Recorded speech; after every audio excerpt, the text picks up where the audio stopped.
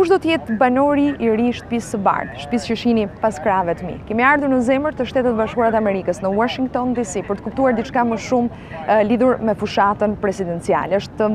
janë momente në fakt shumë të rëndësishme ndërsa na ndajnë vetëm pak javë deri në zgjedhjet e 8 nëntorit kur do të përcaktohet edhe fituesi i kësaj gare. Por është një garë me që të pritet të dalim me një rezultat shumë të ngushtë. Dhe askush sot në fakt, me të gjitha ata që kemi biseduar, nuk mund ta thotë me siguri se kush do të jetë fituesi, Donald Trump apo Hillary Clinton. E,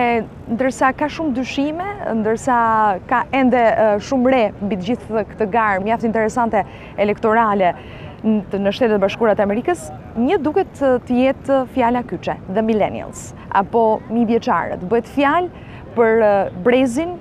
e atyre që kanë lindur mes viteve 1980 deri në vitet 2000, pra 18 deri në 35 vjetë, që sot rezulton në fakt të jetë grupi më i madh i popullsisë në Shtetet e Bashkuara të Amerikës, dhe që duket se do të bëjë ndryshimin në këto zgjedhje.